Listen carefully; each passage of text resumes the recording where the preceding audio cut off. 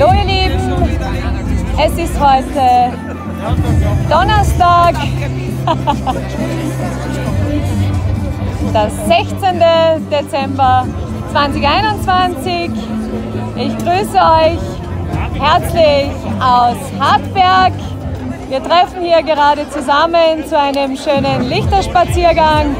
Wir haben heute eine geile Trommelmaschine mit dabei. Die Menschen stehen auf für Frieden, Freiheit, Wahrheit, Selbstbestimmung, für unsere Grund- und Freiheitsrechte. Für die Kinder, einige sind dabei mit ihren Laternenn. Ganz Österreich spaziert und jetzt auch Hartberg.